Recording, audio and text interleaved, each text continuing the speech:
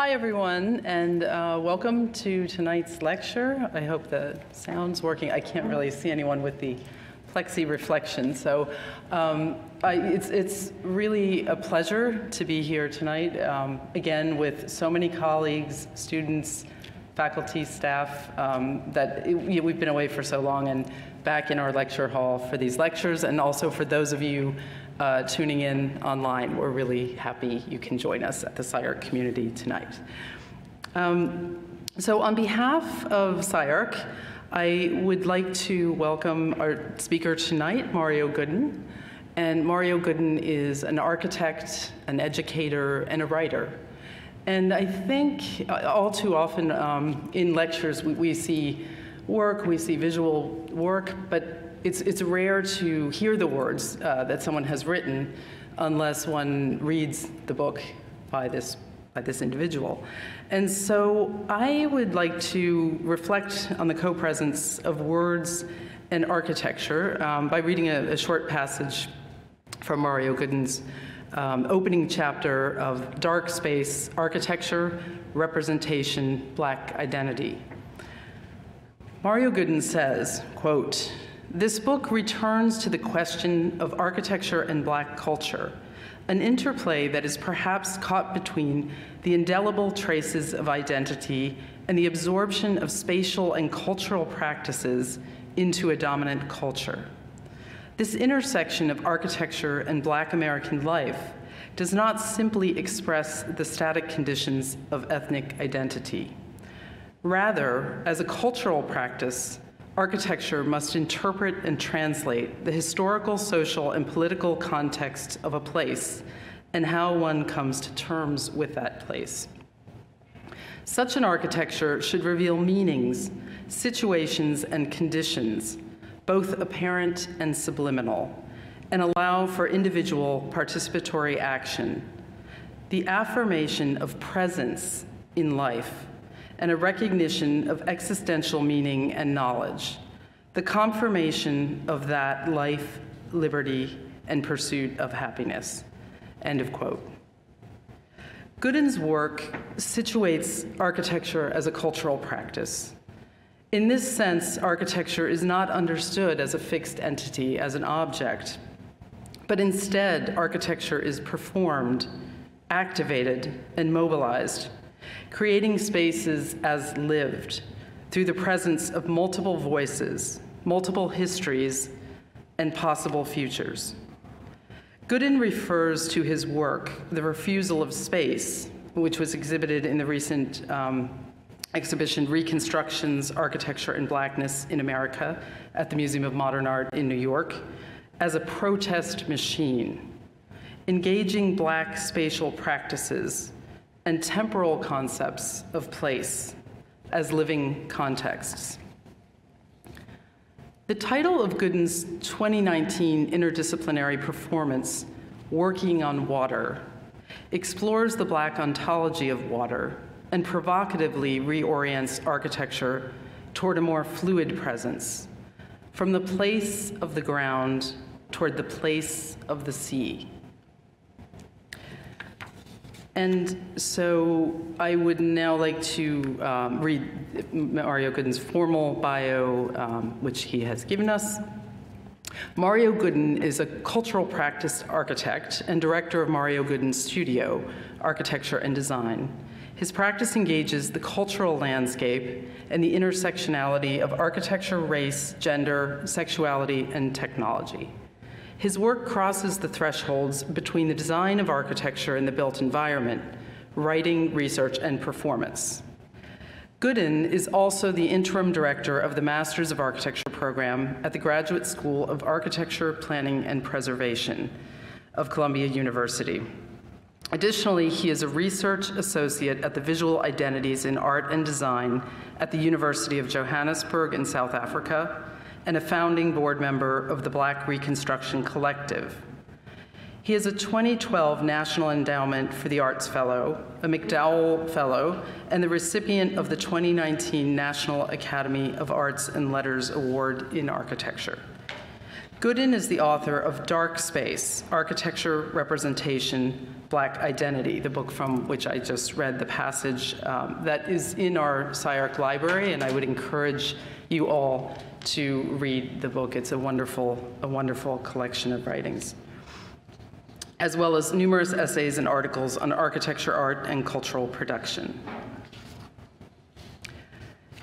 In the groundbreaking A Brief History of Time, From the Big Bang to Black Holes, Stephen Hawking discusses the idea of defining a black hole as the set of events from which it is not possible to escape to a large distance. Furthermore, this means that the edge of a black hole, the event horizon, is comprised of the four dimensional space time light rays that forever hover on this edge and fail to get away.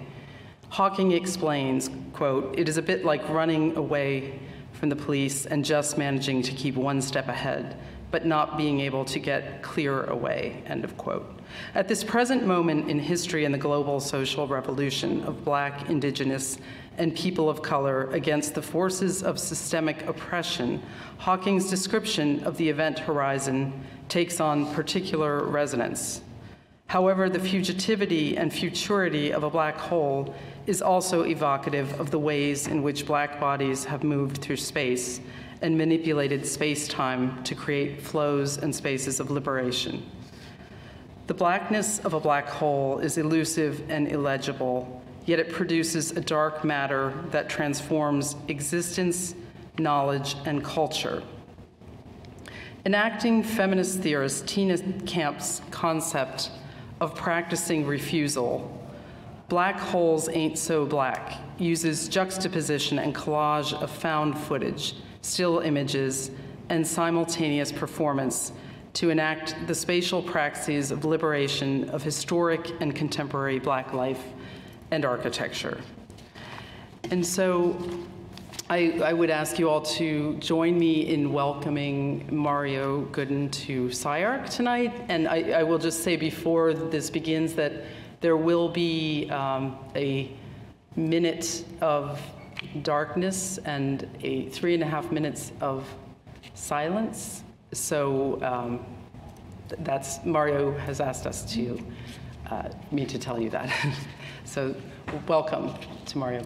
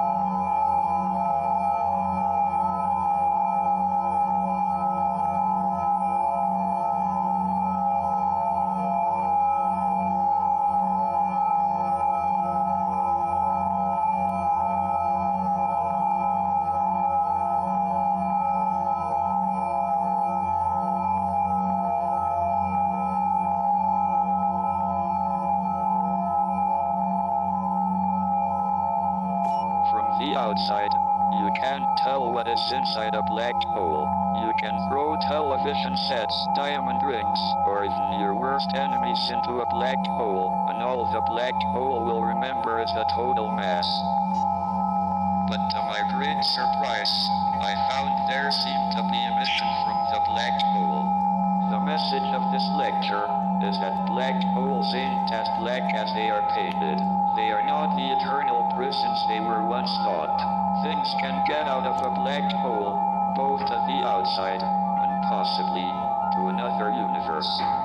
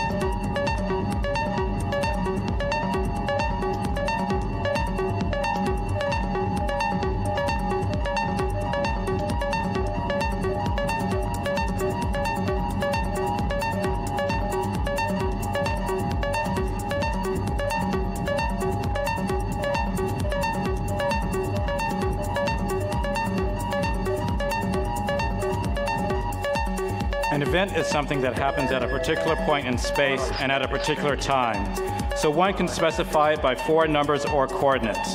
The choice of coordinates is arbitrary. One can use any three well-defined spatial coordinates in any measure of time.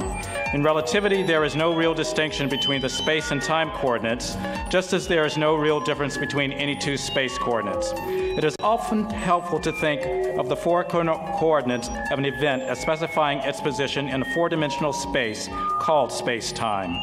But space-time is not flat. It is curved or warped by the distribution of mass and energy in it. The mass of the sun curves space-time in such a way that although the Earth follows a straight path in four-dimensional space-time, it appears to us to move along a circular orbit in three-dimensional space.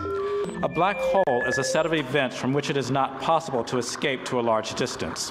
The boundary of the black hole, its event horizon, is formed by the light rays that just fail to escape from the black hole, hovering forever just on the edge. It's a bit like running away from the police and just managing to keep one step ahead, but not being able to get clear away. The New York Times, Science Times, April 10th, 2019, caption the first image of a black hole from the galaxy Messier 87. The image of a lopsided ring of light surrounding a dark circle deep in the heart of the galaxy known as Messier 87, some 55 million light years away from Earth, resembled the Eye of Sauron, a reminder yet again of the implacable power of nature.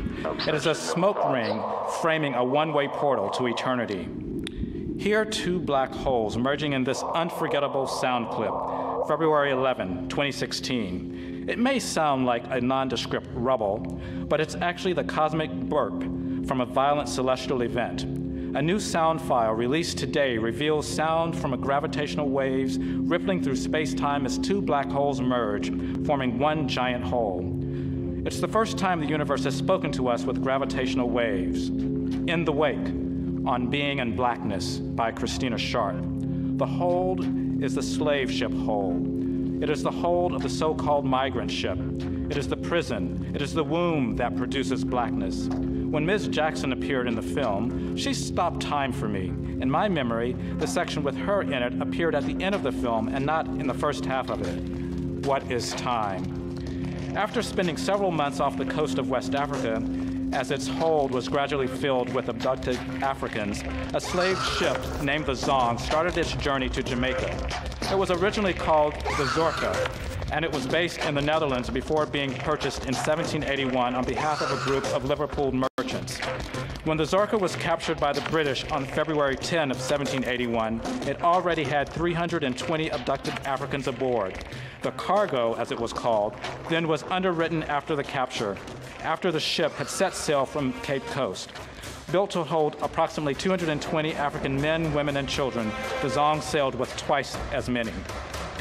I think that blackness will swallow the whole of terror to be free.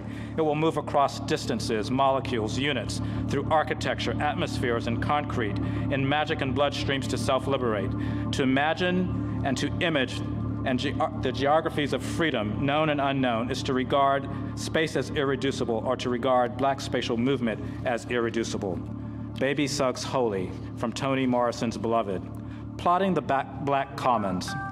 The plot as hidden time and space expressed in the outdoors invokes the opacity of black sociality by hiding in plain sight and developing socio-geographic grammars unintelligible even as outsiders watched, the enslaved rendered black holes in the landscape of ostensible total control, mastery, and surveillance, providing the very basis of the black commons. Black holes represent strategic blurring, aphasia, and unaccounted for space by which and within which enslaved and post emancipation black communities created and perpetuated underground social life, while the black commons represents the elaborated sense of place outside mastery expressed through human to human connection within the delicate ecologies of the wider biosphere. Commander, Houston Challenger Roll Program, NASA, initiation of vertical roll program, pilot, go you mother, mission control, hot. Commander, okay, pilot, looks like we've got a lot of wind here today. Commander, yeah, that's right, Commander. It's a little hard to see out of my window, pilot.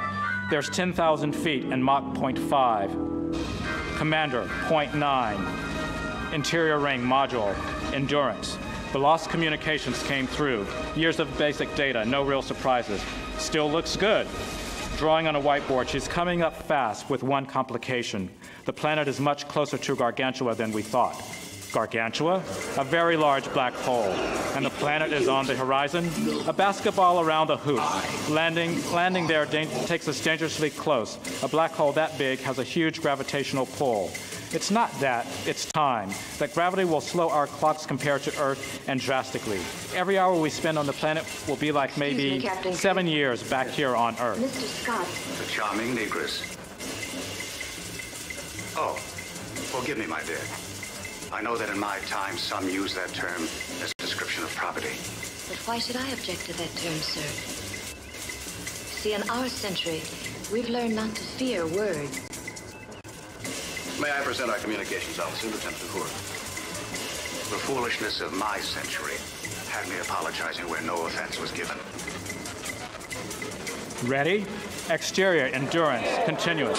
Detaches from the ring module. Like an X-1 from a B-29, fires retro thrusters to slow and drop.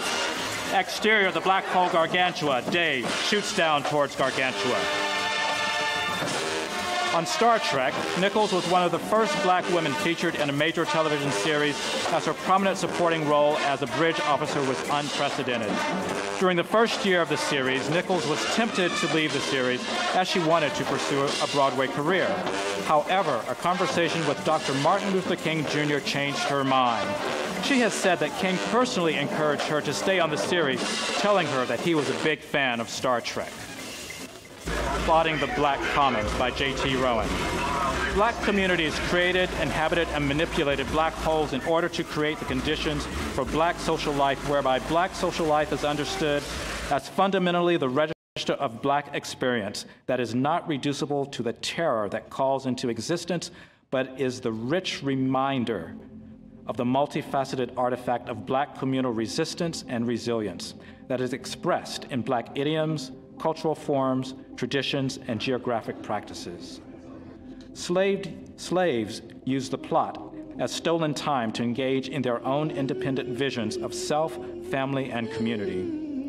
In a system that sought to atomize slaves and render them fungible, the plot as an insurgent relation to space and time brought the possibilities for an otherwise. Insurgent here signifies a spectrum of infra-political action on continuum with outright defiance.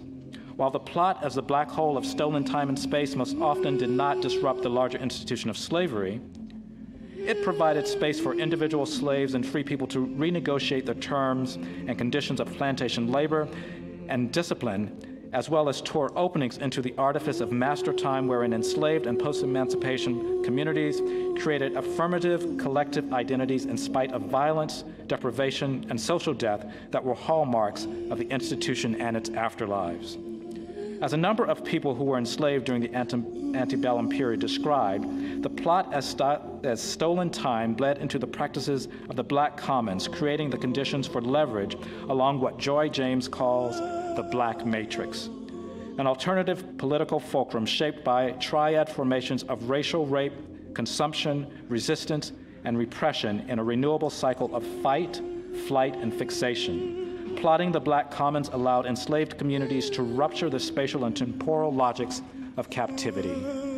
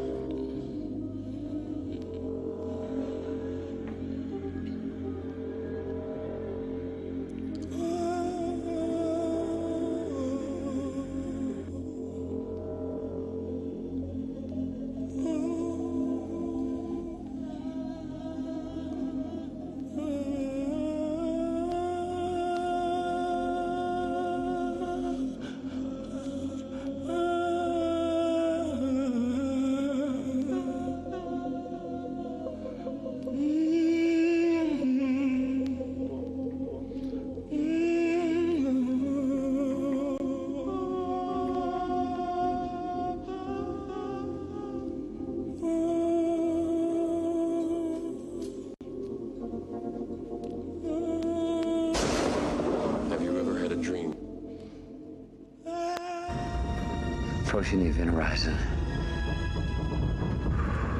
Port side, dipping down beneath it. To go through it. Heading towards blackness.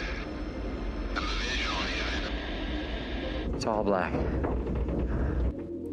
Manipulating the optics upon which mastery depended, slaves used the corner, the cover of night, as well as the alternative knowledge of forested and swampy landscapes to forge infrastructures of hidden paths and furtive geographies that help give shape to the black commons.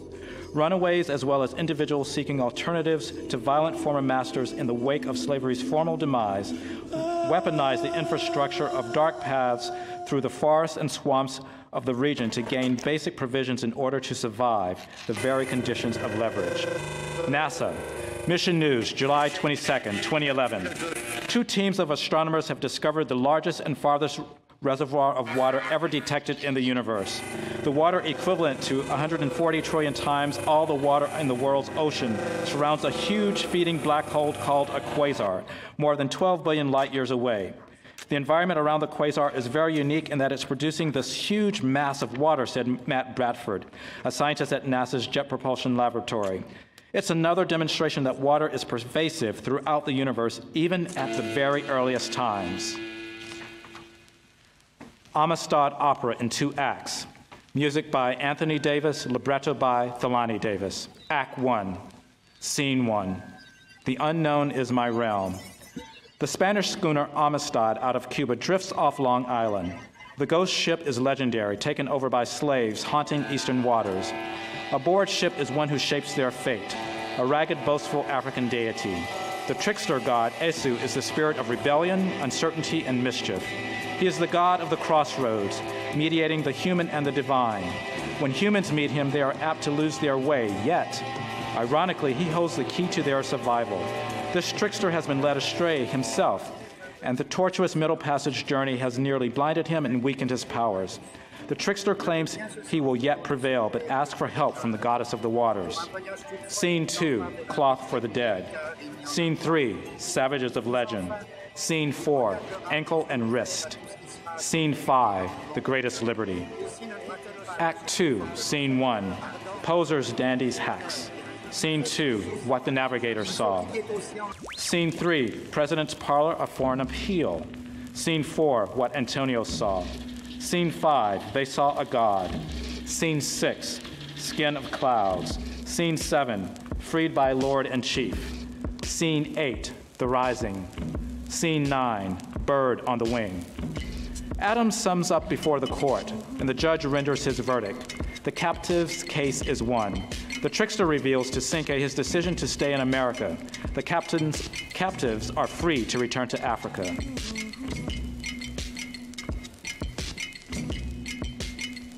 The source of self-regard. Selected essays, speeches, and meditations by Toni Morrison, Alfred A. Knopf, New York, 2019. Race Matters. My effort to manipulate American English was not to take standard English and use vernacular to decorate or paint over it, but to carve away at its accretions of deceit, blindness, ignorance, paralysis, and sheer malevolence, so that certain kinds of perceptions were not only available, but were inevitable. I never asked Tolstoy to write for me, a little colored girl in Lorain, Ohio. I never asked James Joyce not to mention Catholicism or the world of Dublin. Never. And I don't know why I should be asked to explain your life to you. We have splendid writers to do that, but I'm not one of them. It is that business of being universal, a word hopelessly stripped of meaning for me. Faulkner wrote what I suppose could be called regional literature and had it published all over the world. That's what I wish to do. If I wished to write a universal novel, it would be water. Behind this question is the su- suggestion that to write for black people is somehow to diminish the writing. From my perspective, there are only black people. When I say people, that's what I mean.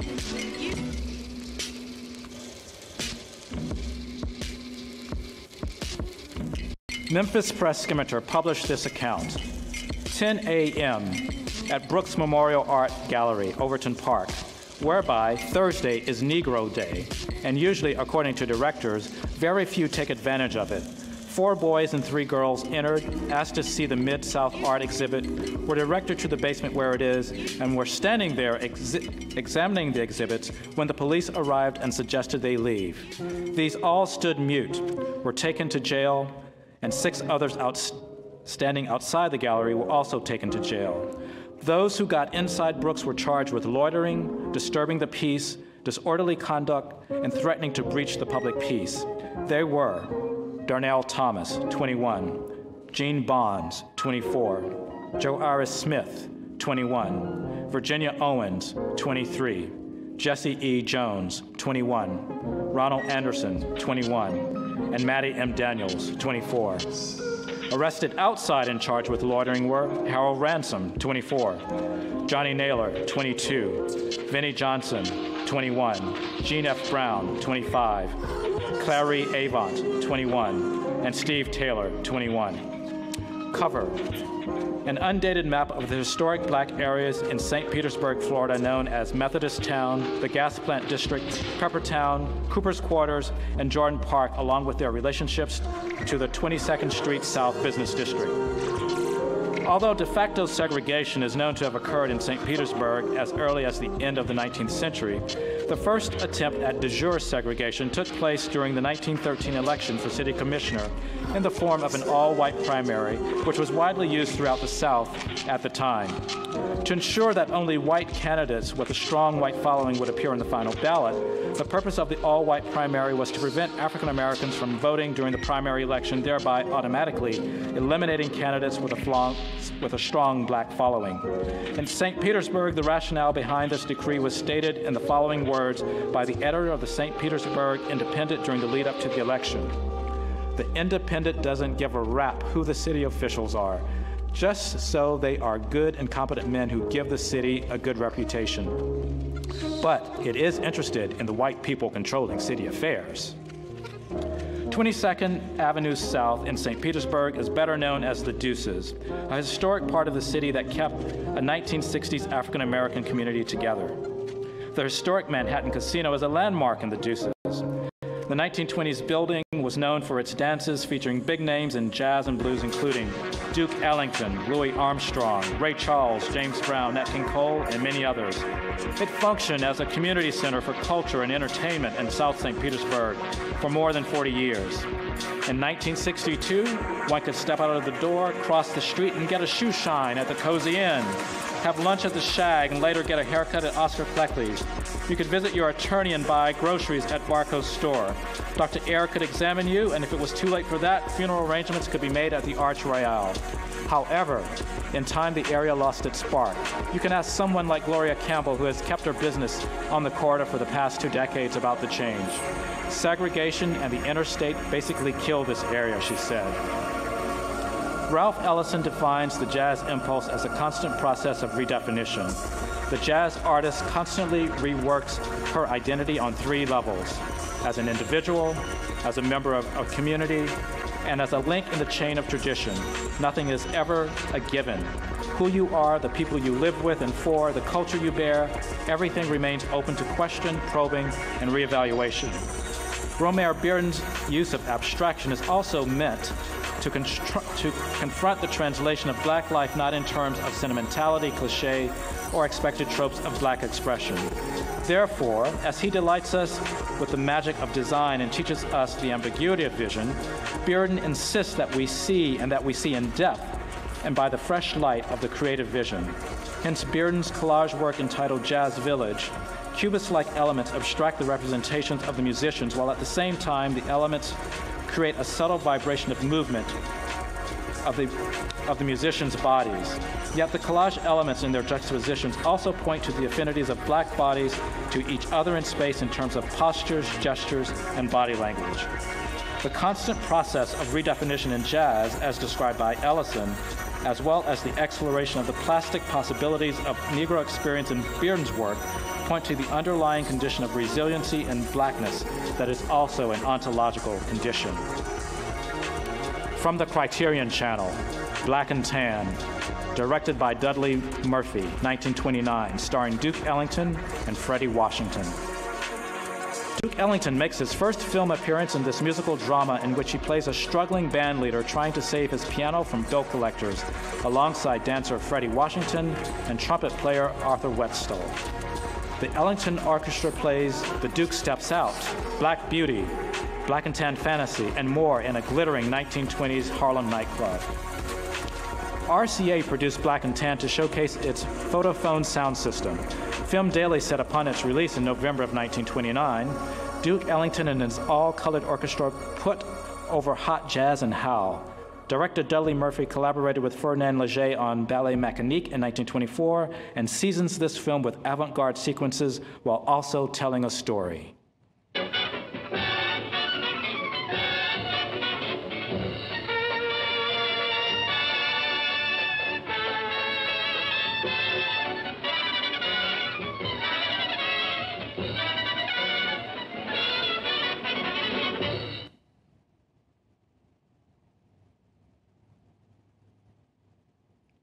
The black commons here is expressed as a furtive and tenuous infrastructure that created the material conditions of a primary aspect of wider black politics refusal.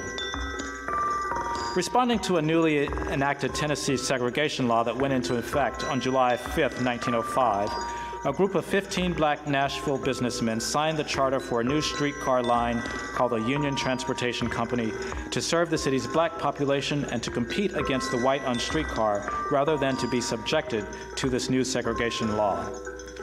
Union Transportation set out to, to service African American communities and the black business district near the state capitol with the same five cent fare that the white owned line charged. After first using steam powered vehicles, which had difficulty traversing the city's hilly terrain, the company later purchased electric streetcars and established four lines that maneuvered throughout downtown, carrying passengers north, south, west, and across the Cumberland River to East Nashville. Unfortunately, Union Transportation streetcars were in service only one year. The trolley's batteries required continual recharging by Nashville Rail and Electric, which also serviced the white owned streetcar line. While the electric company did not refuse to service Union Transportation's batteries, they instead intentionally provided batteries that were badly damaged from overcharging, thus leading to the unsustainability of the streetcar service. In short, Union Transportation was sabotaged. From February 13 to May 10, 1960, the Nashville Student Movement and the Nashville Christian Leadership Council staged a series of sit ins to protest segregation at downtown Nashville lunch counters.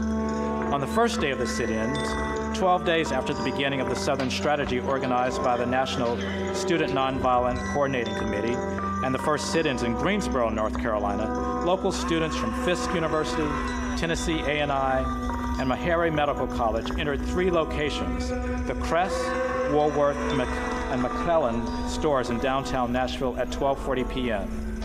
After making purchases in the stores, the students remained sitting at the lunch counters. Store owners denied service to the students and closed the counters, claiming it was their moral right to determine whom they would serve and would not serve. The students sat in the stores for two hours in silent protest and then left without incident. At the fourth sit in on July 27, 1960, students again sought service at Kress, Woolworth, and McClellan. At Woolworth, several white men attempted to drag students, including a young John Lewis, from the lunch counter where they sat. Police marched into the variety stores and arrested 73 protesters, most of them black. The students maintained the sit-ins over the next three months, expanding their targets to include lunch counters at the Greyhound and Trailways bus terminals, a Grant's Variety Store, a Walgreens drugstore, and the prominent Nashville department stores Cain, Sloan, and Harvey's. By 1963, Lewis had been arrested 24 times for civil disobedience. Similar to their counterparts in cities and towns throughout the South, the students catalyzed forms of radical spatial action to bring about social change while visibly responding to the everyday uncertainties of black life for black Americans as part of the civil rights movement.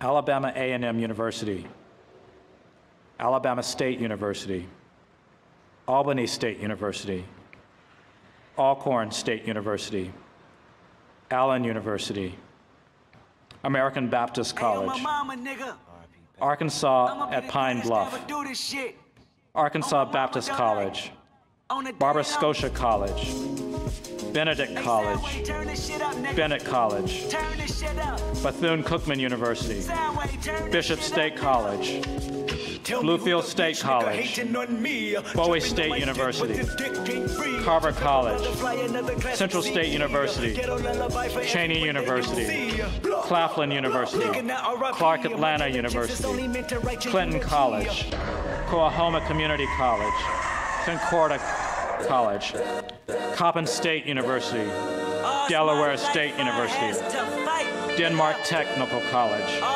Dillard University, trips like, yeah, Nazareth, I'm fucked up, homie, you fucked up, but if God got us, then the University of the District of Columbia, Edward Waters University, Elizabeth City State University, Fayetteville State University, Fisk University, Florida A&M, Florida Memorial University, Fort Valley State University, Gadsden State Community Uh, College, and when I wake up, Grambling State University, looking at me for the pay cut, Hampton University, stop looking at you from the face Paris down. Stowe State that can never University, leave the room with the Hinds Community. College, Scheming, and let me tell you Hood Theological, life. Painkillers on Howard University, Huston Tillotson University, Interdenominational. Theological Center, Lord knows, 20 years Jackson State University, Jarvis Christian College, Johnson C. Smith, Kentucky State University. Knoxville College, Lane College, Langston University, Lawson State Community College, Lemoyne Owen College, Lewis College of Business, Lincoln University, Livingstone College, Maryland Eastern Shore, Meharry Medical College, Miles College, Mississippi Valley State University, Morehouse College, Morgan State University, Morris Brown College, Morris College, Norfolk State University, North Carolina A&T, North Carolina Central University, alright. Nigga, we gon' be alright. Huh? We gon' be alright. Nigga, we gon' Oakwood University, Paine College. Paul Quinn College, Payne Theological, Philander Smith College, Prairie View A&M, Rust College, St. Paul's College, Savannah State University, Selma University, Shaw University, Shelton State Community College, Shorter College, Simmons College of Kentucky, South Carolina State University, Southern University at New Orleans, Southern University at Shreveport, Southwestern Christian College, Spelman College, St. Augustine University, St. Philip's College, Stillman College, Talladega College, Tennessee State University, Texas College, Texas Southern University, Tougaloo College, H. Councill Trenholm State Community College, Tuskegee University, University of the Virgin Islands, Virginia State University, Virginia Union University, Virginia University of Lynchburg, Voorhees College, West Virginia State University, Wilberforce University, Wiley College, Winston-Salem State University, Xavier University,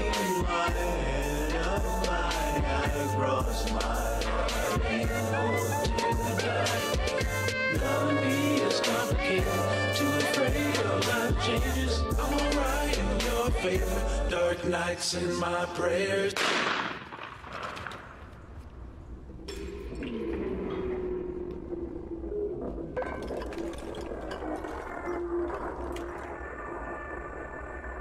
I remember you was conflicted, misusing your influence. Sometimes I did the same, abusing my power full of resentment, resentment that turned into a deep depression. Found myself screaming in the hotel room. I didn't want to self-destruct. The evils of Lucy was all around me. So I went running for answers.